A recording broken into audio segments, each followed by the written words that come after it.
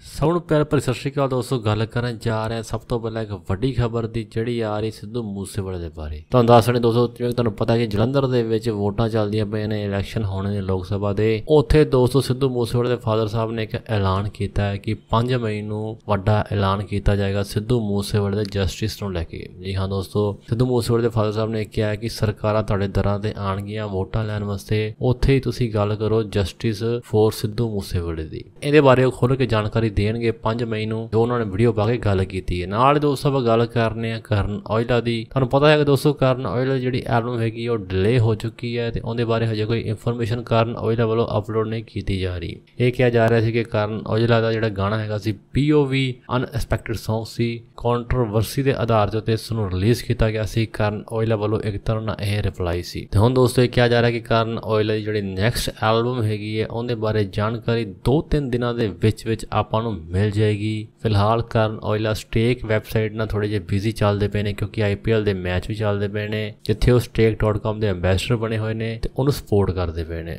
ਹੋਰ ਜਿਹੜੀਆਂ ਪੰਜਾਬੀ 뮤직 ਇੰਡਸਟਰੀ ਦੇ ਲੇਟੈਸਟ ਕੋਲੈਬੋਰੇਸ਼ਨ ਹੈਗੀਆਂ ਉਹਨਾਂ ਦੇ ਲਈ ਸਾਡੇ ਚੈਨਲ ਨੂੰ ਸਬਸਕ੍ਰਾਈਬ ਕਰੋ। ਮਿਲਦੇ ਹੋਰ ਵੀਡੀਓਸ ਨਾਲ। ਧੰਨਵਾਦ।